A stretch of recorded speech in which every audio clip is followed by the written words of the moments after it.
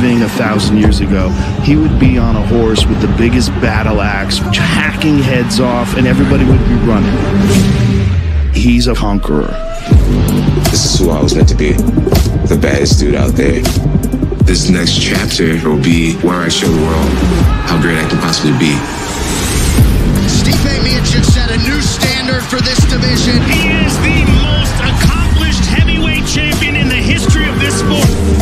All the sweat, tears, and blood they've been working for since day one to reach one goal. Being the UFC heavyweight champion is everything to me. We go out there, I'm gonna smash him. You know, I'm walking out with my belt.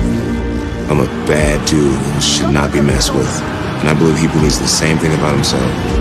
I'm gonna look Stipe in the eyes and I'm gonna do to him what I've done to almost everyone. Dominate.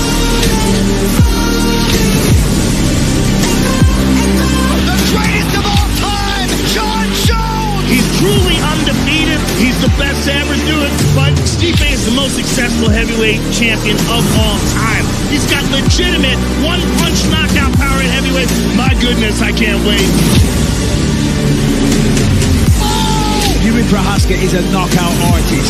25 knockouts on his resume so far. But Alex Pereira is a terrifying individual. His power is extraordinary. Two world title